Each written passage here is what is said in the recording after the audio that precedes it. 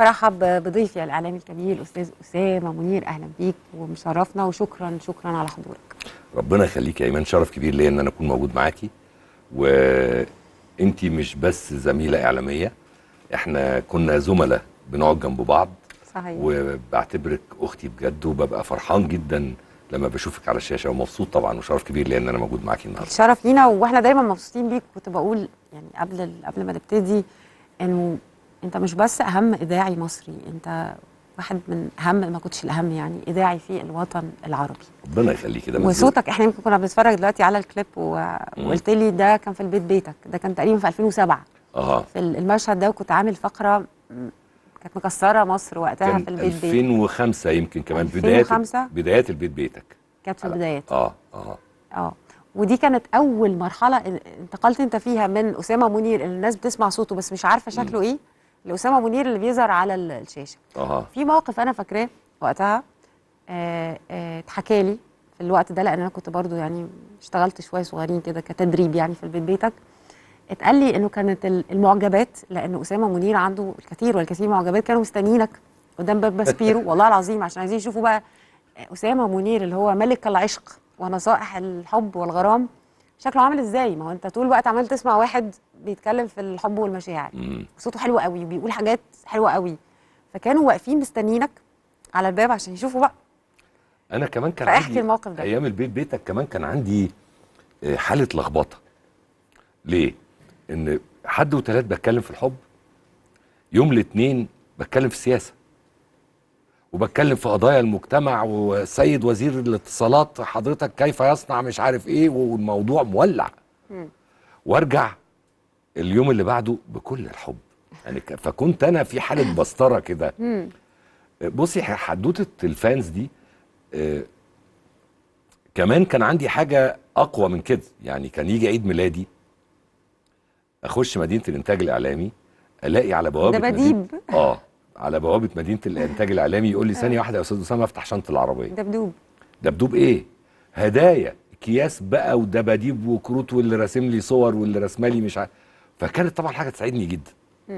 وقدام بوابة ال- ال- البيت بيتك الناس كانت بتستنى محمود سعد علشان تديله مشاكل. مم، أنا بقى كان عندهم مشاكل عاطفية. عاطفية. آه. بمناسبة المشاكل العاطفية يمكن علشان انت رائد من رواد فكرة ال- الإذاعة وإن الناس تتكلم وتفضفض وكده وهتحكي لنا بعد شوية على الطرائف اللي حصلت معاك على مدار الفترة اللي فاتت. هل دلوقتي هو ده الشكل التقليدي الناس ممكن تحكي بيه؟ يعني بقت الناس بتفضفض بطرق مختلفة ولا لسه الناس بتحب تفضفض one to one يعني بصي بشكل مباشر كده. طرق الفضفضة كتير. آه في صفحات فضفضة على ال social media. اللي هي confession of a married woman ومش عارف إيه وفي حاجات كده كمان للرجالة. ولكن الفضفضة واحد بيطلع اللي جواه وبيقعد يقرا في comments بتاعت الناس. غير لما بيتناقش قاعد مع حد بيناقشه ويحكي له ويرد عليه فيقاوحه ويقول له لأ ما أصل أنا في موقف تاني أصل ففي مساحة للهات وخد. فده اللي بيخلي الحدوتة هنا آه، محبوبة أكتر. مم. والفضفضه اختلفت. يعني أنا بقالي دي السنة ال 21 يعني داخلين في 21 سنة. آه، عن ما بدأت شكل الفضفضة وشكل المشاكل اختلف تماما عن دلوقتي. إزاي بقى؟ مر بمراحل كتير جدا. يعني كان في الأول ناس مخضوضة وكانت اللي بيحكي لي المشاكل يعني لما كنا بنسمع مشكلة إن واحدة خانت جوزها كانت الجرايد بتتقلب. أيوه أنا فاكرة في بعض التسجيلات اللي كانت تجي لك آه. لأن الحاجات دي بيتعمل لها على فكرة ريشير. تاني دلوقتي وناس دي بتسمعها. كانت الدنيا تتقلب. أو كانت بتبقى بتتكلم وهي بتعيط أو بتبقى مستخبية أو بتبقى هقول لك حاجة. في خجل يعني تقصد؟ آه، تالت مكالمة تالت حلقة من أنا ونجوم وهواك جالي آه، آه، مكالمة واحدة خانت جوزها.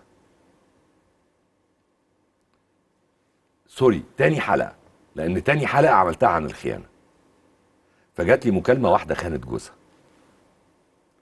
لك أن تتخيلي أنا بعد تاني حلقة سافرت دبي كان عندي recordings لقناة هناك بسجلها لها وراجع آه، لقيت تليفون جاي لي أنا كنت نزلت ترانزيت في البحرين آه، أنت فين؟ قلت لهم أنا في البحرين. قالوا لي عندنا ميعاد الساعة 3 عند رئيس اتحاد الإذاعة والتلفزيون. استجواب. ليك أنت. علشان واحدة اتكلمت وقالت إنها خانت جوزها. وكان أنا ذاك الأستاذ حسن حامد. ربنا يديه الصحة شخصية لطيفة يعني. طبعا. فقال لي أنت طلعت لنا منين؟ أنت أنت إيه؟ أنت جيت منين؟ أنت أنت أنت خلفيتك إيه؟ أنت بتهد ال... أنت أنت خلفيتك قيم أنت طالع منين؟ فقلت له أستاذ حسن أنا راجل ليسانس اداب قسم اجتماع. كنت بشتغل في مركز بحوث الأمريكي في مصر وكنت بعمل أبحاث اجتماعية وده شغلي وما تقلقش خالص والأمور وإحنا عندنا أجهزة بتوقف الصوت وبتاع. قال لي غلطة. في برنامجك وأنا بقول لك قدام رئيس مجلس الإدارة بتاعكم. غلطة واحدة في برنامجك أنا هقفل القناة كلها. فتخيل البرنامج كان عامل إيه في الأول؟ عشان واحدة قالت إنها خانت جوزها. دلوقتي بسمع إيه اللي عجب يا إيمان؟ بسمع ما يقشعر له الأبدان. والناس بتتصل وتحكي يعني هي يس. الفكرة نفسها. ما هو ده التطور بقى. الفكرة إن هما ما نفسها- بقوش بيتكسفوا. آه. كانوا دلوقتي بيقولوا وبيقولوا جدا. يعني ف بس انت بتتحط في مواقف صعبه لأن انت بيطلب منك يعني انت لما تسمع حاجة زي كده يعني أنا لو منك هقول إيه؟ اصل انت اولا بتبقى على الهوا. فانت مش بتكلمها هي بس انت بتكلم مصر كلها. ثانيا انت بيطلب منك ان انت بقى حل بقى أو ان انت تدي نصايح قبل ما أرد إيه؟ عليها وقبل ما أرد على مصر كلها وقبل ما أفكر إن مصر كلها قاعدة بتسمعني بفكر في حاجة واحدة. إن ربنا شايفني. طبعا. إن أنا هتحاسب على اللي بقوله. طبعا. ما فيهوش هزار. يعني أنا ممكن أخرب بيت حد ممكن أظلم حد فببقى مرعوب لأن أنا عارف إن ربنا سبحانه وتعالى هيحاسبني على كل كلمة طالعة من بقي. فأنا محطوط في كورنر إن أنت كل أسبوع مرتين في الأسبوع في خمس ست مكالمات في كل حلقة ربنا بيحاسبك عليهم. مم. فعملية مزعجة جدا. إيه أصعب المكالمات اللي جات لك؟ كنت حاسس إن انت أنت مش عارف تقول إيه أصلا. ولا ترد بإيه بصي ولا؟ على مدار ال 20 سنة اللي فاتت كتير. كتير جدا. آه، في بنت ال- الله يرحمها اللي اسمها حنين اللي كانت بتحب واحد و... واتبرعت له بكليتها و... وكان خطيبها وحد من أصحابهم حط يعني آه، وقع ما بينهم فسابها الولد والبنت جالها كانسر وكانت عايزة تشوفه آه، بأي شكل من الأشكال وهو رافض يشوفها وبعد كده كلمت كلمتني في تليفون حكت لي وبعد كده صعبت عليا خدت رقم تليفونها كلمتها تاني يوم الصبح من تليفوني مم. قلت لها قالت لي الكيماوي بقى وقع شعري وأنا متبهدلة قلت لها حطي اشارب وانزلي للناس وربنا قادر إنه يوقفك على رجلك تاني وربنا قادر إنه يشفيكي و و و كل. وكنت متفاعل معاها قوي يعني. قلت لها اكلمك الحلقة الجاية اللي هي بتاعت بكرة يا حنين علشان إيه ندردش لأن المستمعين عايزين يسمعوا صوتك يعني حابينك كلمتها ما ردتش كلمتها تاني ما ردتش. تالت ما ردتش فالمخرج قال لي ما له خلاص. فقلت يا جماعة إحنا حاولنا نكلم حنين أنتوا طالبين إن إحنا نكلم حنين حنين ما بتردش. أتمنى إن يكون المنع خير يعني. الحلقة اللي بعدها قبل الحلقة آه، قلت أكلمها عشان أشوف هي فين تطلع معايا هوا. ردت عليا أختها. قالت لي حنين تعيش أنت توفت. قلت لها البقاء اللي لقيتي توفت في الحلقة وهي بتسمعك. اللي هي تاني حلقة اللي كنت المفروض هكلمها. لأن جالها تليفون إن خطيبها بيتجوز. جالها شوك وهي كان جسمها ضعيف جدا ما استحملتش توفت فطلعت قلت بكل الحزن والأسى والأسف والألم بننعي مستمعة البرنامج حنين اللي كلكم كنتوا متعاطفين معاها البقاء لله. فجأة يا إيمان ولا تليفون جه. البرنامج ده اللي التليفون بتاعه ما بيقفش. ولا تليفون. زعلت الناس. قعدت ابص وابص المخرج يقول لي مفيش تليفونات. فأنا عايز أملى الهوا ما أنا يعني ما أو هطلع. بقى. ففجأة قال لي استنى استنى تليفون. أول تليفون جالي قال لي مساء الخير يا أستاذ أسامة أنا بكلم حضرتك من المملكة العربية السعودية. ما تقولش خطيبها. لا. قال لي بلغ أهل حنين إن أنا بكرة الصبح هعمل عمرة باسم حنين. مم. فقلت له جزاك الله خير. بدأت بقى المكالمات تهل اللي تعيط في التليفون صحفية تكلمني تقول لي حرام عليك وجعت قلبنا كانت مكالمة من أوحش ما يمكن أنت بتنخرط عاطفيا كمان مع. يعني أكيد ما هو أنا. إنسان برضو يا إيمان يعني مم. يعني تخيلي أنا يعني قاعد- بالنسبة لك الموضوع مش شغل وخلاص مش آه. حلقة وبتعدي يعني جات لي مكالمة من واحدة ست آه، ابنها طلعها من الشقة شقتهم عشان يتجوز فيها وخد أمه نقلها في أوضة تحت السلم في عمارة علشان يقعدوا ويتجوز في الشقة الست كلمتني قالت لي يا أستاذ أسامة أنا دلوقتي مش عارفة أعمل إيه أنا قاعدة تحت السلم أنا مش فارق معايا أقعد تحت السلم. بس ابني ما بيسألش عليا. يعني خليني قاعدة تحت السلم بس ابني يعني أشوفه. أنا كنت أعيط وأنا بسمعها الست. يعني قصدي أم يعني ست كبيرة. اللي كان هاين عليا أقول لها طب انت قولي لي انت فين وأنا هاجي أخدك. يعني حاجات بقى إيمان كتير بس أنت أكيد من خلال البرنامج ومن خلال ال- الاتصالات والتليفونات راصد الحالة اللي هي حالة تغير المشاعر يعني أنا. فاكرة كويس قوي في فيلم اسمه أعتقد ظرف طارق آه أحمد حلمي ونور. اللي أنت كنت محور ال ال هو الفيلم اتبنى على الحق بالظبط آه. اتبنى على فكرة البرنامج وإن هم طول الوقت بي ده أنت ال- الواصل اللي ما بينهم. هو يكلمك وهي تكلمك ف انت طول الوقت في في النص وبتسمع الحكايات وبتحل للناس وبتتكلم وبتسمع من هنا وأكيد علشان كمان تطلع وتقدر ترد طول الوقت أكيد بتقرأ وبتسمع وبيجي لك. هل شكل حتى العلاقات العاطفية بين الناس طبيعية؟ هل اتغيرت جدا. بشكل لا تتخيليه وفي تغيير مفاجئ حصل أيام الثورة. يعني المفروض الناس اللي بتعمل أبحاث اجتماعية والجهات دي يعني تلاقي ده وتكتب عنه. وقت الثورة حصلت حالة من حالات كسر الخوف عند الناس سبيشالي الشباب. فبقوا بيتكلموا. فما بقاش في قدوة. يعني حتى القدوه كانوا بينتقدوها. يعني مش عاجبنا. مش عاجبنا أداء الوزير مش عاجبنا أداء الرئيس. كان بقلب فجأة الشعب فجأة كان نايم في حال صحي في حال. بالتالي ظهر في البرنامج. حالة بقى من الانفتاح المفاجئ يخض. شكل العلاقات العاطفية بقى يخض. يعني بقى الاعتراف الضمني إن أنا بعمل علاقة عادي جدا. يا أنسة ما يصحش كده. ما, ما أنا بقيت مخضوض. وبعد كده بالتدريج الموضوع بدأ يختلف. كل مرحلة مرت علينا في العشرين سنة اللي فاتت دي أنا بدأت يا إيمان قبل ما يبقى فيه آه social media يعني بدأت بستقبل إيميلات بقرأ فيها المشاكل وتليفونات. لما جت ظهرت ال SMS قالوا نجرب ال SMS عنده. فكان أول برنامج يجربوا فيه platform بتاع ال SMS ده كان أنا ونجوم وهواك. عملت 27 ألف SMS في أول حلقة SMS ده رقم أو مخيف. ف وبعد كده دخلت ال social media فاختلفت شكل العلاقات. بدأ يظهر حاجة اسمها حب على الإنترنت. بدأ يظهر حاجة اسمها علاقات على الإنترنت. بدأ يظهر مصايب بسبب الإنترنت. اللي خد صورها وعمل لها مشاكل اللي كان بتبعت دي له بقت الماسنج. مشاكل جديدة آه بت- حاجات. تانية جديدة. بدأت الناس تتعرف على بعض بشكل أوسع. بدأت الناس تذاكر بعض قبل ما تتعرف على بعض.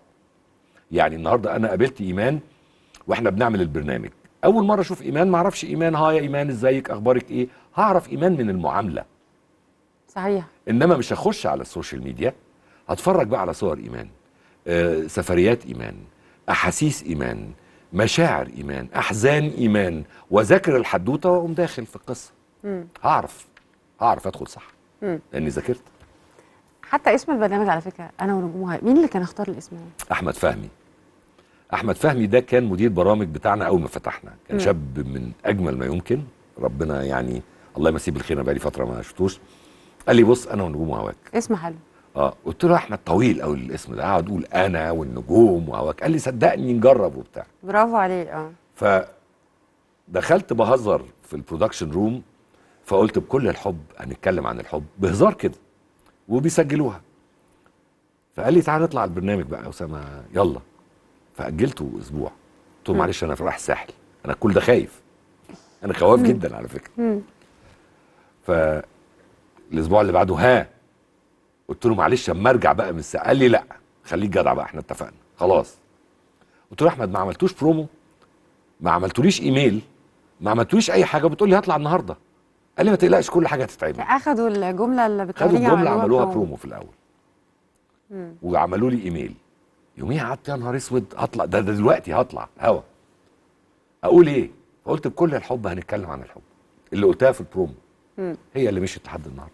خليني بقى أسمعك الناس لما بنقول لهم أسامة منير بيقولوا إيه؟ يعني مم. أنت إيه بالنسبة لل... ربنا لل... يستر. للناس وخاصة الشباب؟ ربنا يستر. يلا بينا.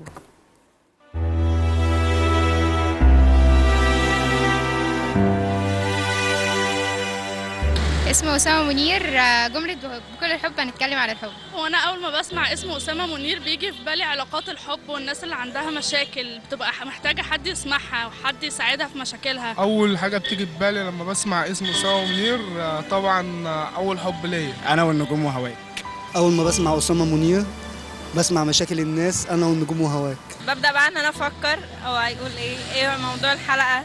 بسمع اسم أسامة منير بيجي في بالي حاجات حلوة جدا. يعني بصراحة برتاح له نفسية وبثق فيه يعني بصراحة يعني كلامه مريح ويعني وكلامه محل السكة وكده يعني. المشاكل العاطفية واللي بيسمع في مشاكل الناس وكده. بفتكر برنامج طبعا اللي هو بتاع أنا والنجوم وهواك ده كنت بتابعه طبعا وبسمعه. هو بيجيب لهم يعني حل للمشاكل وكده. طبعا أنا ونجوم وهواك. أسامة منير يعني أنا والنجوم وهواك. بكل الحب هنتكلم عن الحب. وبكل الحب هنناقش كل قضايا الحب وبكل الحب هنتقابل ولمدة ساعتين في أنا والنجوم وهواك. بقول لأستاذ أسامة يعني باخده مثل في حياتي يعني وب- يعني هو القدوة بتاعي بصراحة. بستفاد لما بسمعه آه، بطبق حاجات في حياتي آه، باخدها مثلا على مواقف حصلت معايا قبل كده. وبستفاد منها. هو أسامة منير كان بيفيدنا في حياتنا إن إحنا لما بنسمع مشاكل غيرنا بنستفيد في علاقاتنا الشخصية مع الناس. كنت بشوف علاقات أو مشاكل آه، عنده في ال- في الإذاعة وكده في البرنامج كان ممكن تلمسني أنا. بيبقى مدينا نقط كده إن إحنا نمشي عليها بنبقى عارفين إحنا آخر الطريق ده إيه بس. هو إنسان يعني لبق عنده حتة التحليل الصريحة. يعني أنا طبعا كنت بفتكر إن هو طبعا حد بحكي له آه، إيه اللي أنا بفكر فيه إيه اللي أنا بحلم بيه آه، آه، إيه تطلعاتي في الحياة كده. كنت بحب دايما أسمعه بالليل. أقول له كمل إحنا بنحب نسمعك و يا ريت تقدر تحل.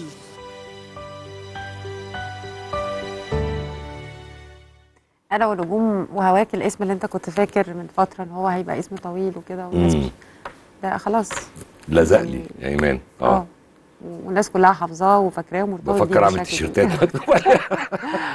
بس طبعا أنت مش بس آه، إذاعي أنت اشتغلت اتكلمنا شوية من شوية اشتغلت في التلفزيون وتقديم البرامج آه، مثلت بشخصيتك في بعض الأحيان ومتهيألي بشخصيات أخرى صح؟ آه. يعني طلعت في ادوار كأسامة منير وفي أدوار عملت كممثل. دكتور جراح مع الفنانة الكبيرة الأستاذة ليلى علوي في حكايته ونعيشها وكنت طالع يعني أنا متيم بيها وبحبها هي تتحب طبعا ليلى علوي يعني. طبعا. وكل دي كانت تجارب وغنيت.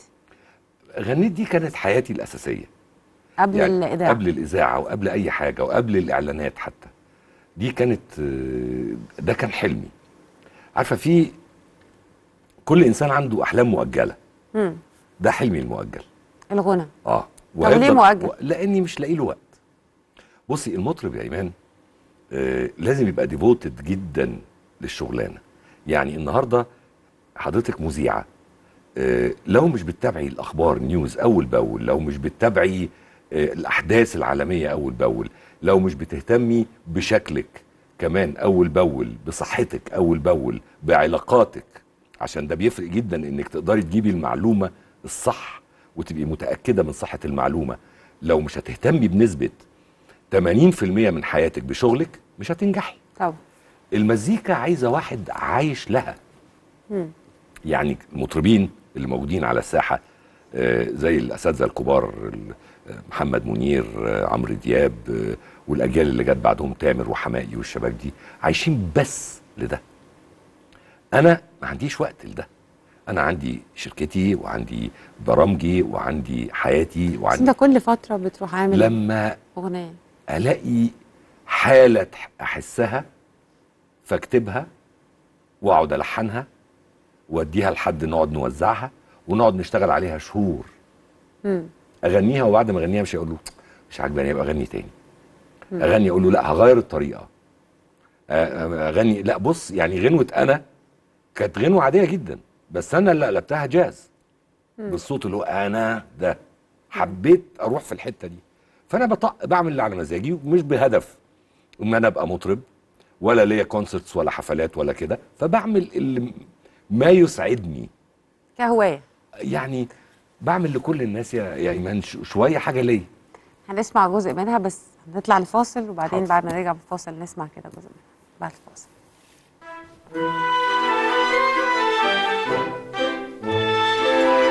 آه الإعلامي الكبير آه، أسامة منير ليك بعض التصريحات بيقولوا لي إن أنت في بعض التصريحات كده آه، بس أنا مش حاسة إنها هتطلع منك.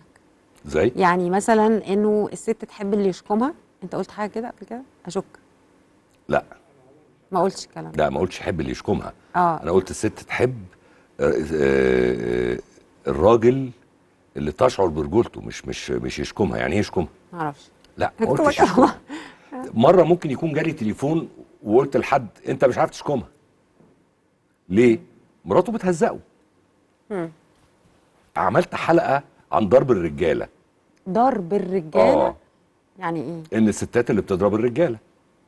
وده حاجات بتجيلك؟ يعني ده موجود؟ يا إيمان لقينا المركز القومي للبحوث عامل رئاسه الوزراء عاملة الأبحاث اللي بتنزلها دي في 54% من المحاضر ضرب ال- الرجالة بتتضرب. ضرب ضرب مبرح آه يعني مش ضرب وبيروح يعمل آه. محضر في الاسم. آه. رجالة بتتضرب. إنما ما بيطلعوش على الهواء يقول لك أنا مراتي ضربتني ما عشان كرامته آه طبعا. مم. زي الرجالة ما بتكلمنيش ليه؟ لأن أصحابه هيبهدلوه. آه. انت كلمت اسامه منير امبارح إيه هي عملت فيك إيه انت عارف بقى أنا كنت دايما اقعد أقول طيب هي البنات اللي كانوا ساعات يكلموك مثلا وتحكي على مشكلة عاطفية مم. مشكلة طب ما هي صوتها معروف لا عارفة حدوتة بيكلموه من تحت اللحاف آه فاكرة فيلم طير انت أيوة، لطفي دنيا سمير غانم من لما تحت نزلت. اللحاف وبتاع. آه. ليه بيعملوا كده عشان يغيروا الصوت آه عشان يغيروا صوتهم آه بس المشاكل بتبقى معروفة يعني هيشبهوا على الصوت هتقول حتة هنا كلمة هنا حاجة هنا. يس. لا ده ساعات بقى كمان تكلمني وتقول لي على فكرة جوزي بيسمعك. أنا كلمته وقلت له افتح الراديو اسمع. فتشتكيه وهو قاعد بيسمع. فوجه له هو الرسالة. مم.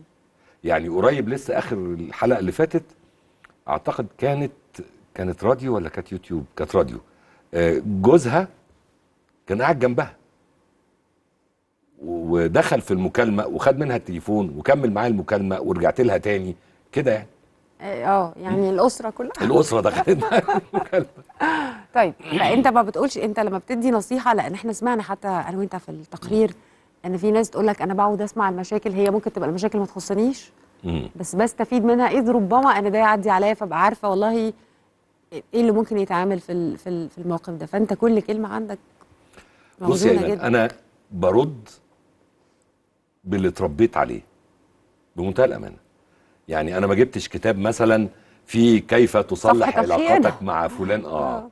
أو كيف تخون زوجتك وتسعدها. ابدا. أنا برد باللي اتربيت عليه. أهلي ربوني بإيه؟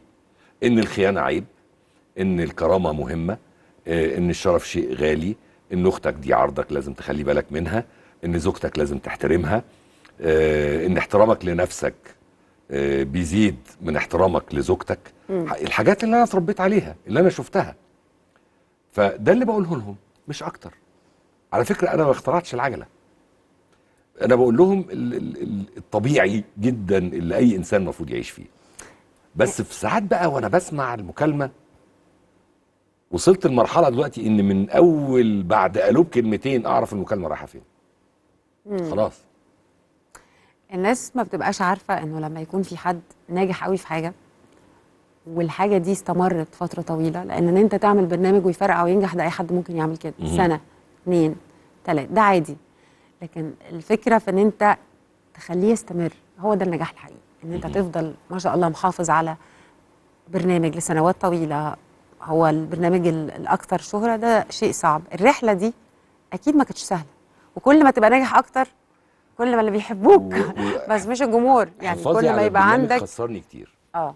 أنا خسرت كتير إن أنا وأنا بحافظ على البرنامج. يعني لو تلاحظي إحنا عندنا هنا في مصر حاجة جميلة قوي. آه، فلان عمل شخصية في السينما نجحت يعملوا منها خمس أفلام. مم. علان آه، طالع دلوقتي ترند على ال social media هاتوا اعملوا بيه فيلم. okay أنا اتعرضت لده. بطولات مسلسلات وبطولات أفلام في الأول خالص. من خوفي على البرنامج رفضت كل ده. آه عشان تحافظ على عشان أحافظ على على الصورة البرنامج. دي. كان ممكن أستغل الفرصة وفجأة تك سينما تك تلفزيون وأبقى في حتة تانية. لا أنا خفت قوي على البرنامج. ومن خوفي على البرنامج رفضت البيت بيتك في الأول. مم. ولدرجة إن جاء قالوا لي أنت مجنون في حد يرفض البيت بيتك؟ اديني فرصة أسبوعين. طب ادوني فرصة كمان أسبوعين. ما خايف ما أنا خايف على البرنامج خايف, خايف على حاجة النجاح ده إن. أي حاجة تهزه. آه. من خوفي على البرنامج وقفت المزيكا. الغنى خايف على البرنامج. فاتعاملت معاه كأنه ابني اللي خايف عليه. فحافظت عليه على قد ما أقدر. وبقيت محافظ بقى على كل كلمة خارجة من لساني. ممكن تعبني في يوم من الأيام. كان في أي مشاكل في الطريق؟ يعني أعداء النجاح وأنت والله منافسين كتير في الإذاعة بالتحديد. كان في مش في الإذاعة كان في آه، حدف كلام كده. من ناس حواليا يعني. أنا ما ببصش خالص. أنا اتعودت واتعلمت حاجة جميلة جدا. طول ما ربنا موفقك وأنت ماشي في طريقك بص قدامك وامشي زي القطر. اللي خبطك هيقع في السكة وأنت هتكمل. وهيخبطك تاني حد تاني وهيقع منك في السكة وأنت هتكمل. لو وقفت أبص لده وأبص لده وأبص لده مش هاخد خطوة لقدام. فانا ماشي تك كده اخبط زي ما تخبط. وياما ناس خبطت فيا. وبعد كده رجعوا قالوا لي ده أنا بنحبك جدا وخلافه يعني إيه لما أقول لك النهارده بيكلموني دكاترة جامعة. عنده مشكلة لبنته. أتصرف معاها إزاي؟ أستاذ جامعة. دي حاجة طبعا ثقة كبيرة جدا. مم. أتذكر المواقف الكوميدية بقى اللي كان اللي- أحكي لك موقف كوميدي. قول كان في دكتور طبيب نفسي مش هقول اسمه طبعا كان بيطلع في التلفزيون بيعمل برامج وبتاع. والدكتور ده كان بدأ ينور وقتها يعني. الموقف يضحك بقى إيمان إن أنا معايا الراجل بتاع الدش بركب الدش على السطوح. في عز الظهر والدنيا شمس وأنا واقف مش طايق نفسي وهاته كده اعمل طب ما نخلي بالك لا تخرم عند الجيران عارفة الحالة دي؟ أيوه عارفة. ولقيت التليفون بيضرب. ألو مساء الخير أنا دكتور فلان. قلت له أهلا يا دكتور إزاي صحتك؟ قال لي عارفني؟ قلت له عارف حضرتك. قال لي أنت عارف إن أنت بقيت مرض نفسي؟ قلت له نعم. يا فندم. والله العظيم. همي يبكي وهمي يضحك. قلت له مرض نفسي إزاي؟ قال لي أنا سجلتك مرض نفسي. في مرض نفسي ما شاء الله مبروك. آه قلت له طب يعني أعمل إيه طيب؟ قال لي بص أنا عندي حالة وهي دي السبب الحالة اللي سجلتها وقلت إن ده مرض نفسي جديد ظاهر اسمه أسامة منير.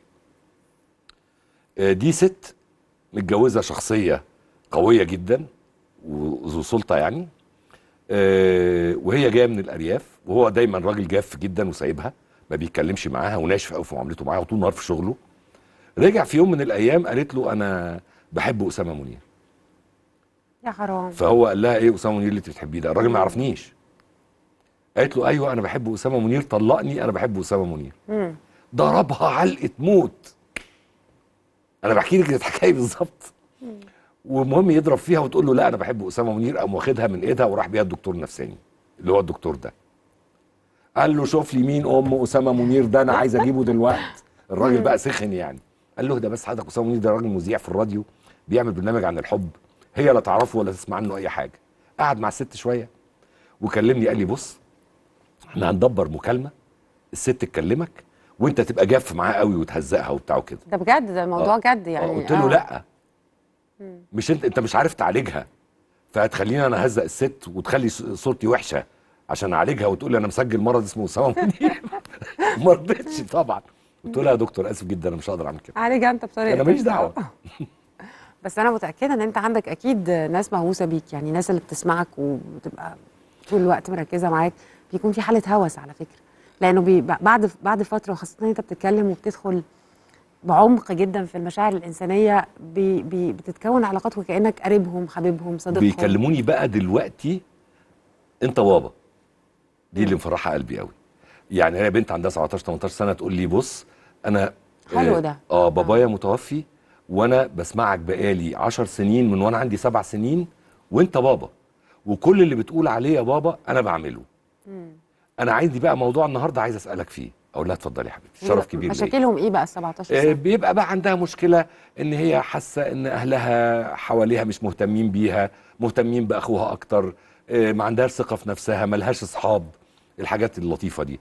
فببتدي أتكلم وأفتح معاهم الكلام. على فكرة أسامة منير كمان شخصية طيبة قوي. يعني بعيدا عن هو جماعة. بقى شاطر وناجح والكلام ده كله بس أنت شخصية طيبة. الله يخليك ده من ذوقك. وأنا عارفة إن أنت كمان متعلق بأسرتك بشكل كبير آه. وبولادك بالتحديد. روحي فيهم. فالأب بقى ده بي يعني دلع زيادة عن اللزوم ولا برضه في جزء كده؟ بفوت آه. بفوت مامتهم شديدة شوية. آه معاهم. فعشان كده لازم حد يوزن يفوت شوية. بس آه لما بقفش بقفش بقى. بيشوفوا وش تاني خالص بيشوفوا بابا بقى بجد يعني. انت عندك وش تاني بذمتك لا آه من خوفي عليهم يا إيمان بتلاقيني كلنا. من خوفي عليهم بتلاقيني وصلت لمرحلة لا. يعني في ساعات لا يعني لا. ما فيهاش هزار. وممكن أقفش وممكن يبقى الكلام هات وخد كبروا بقى بقوا رجالة.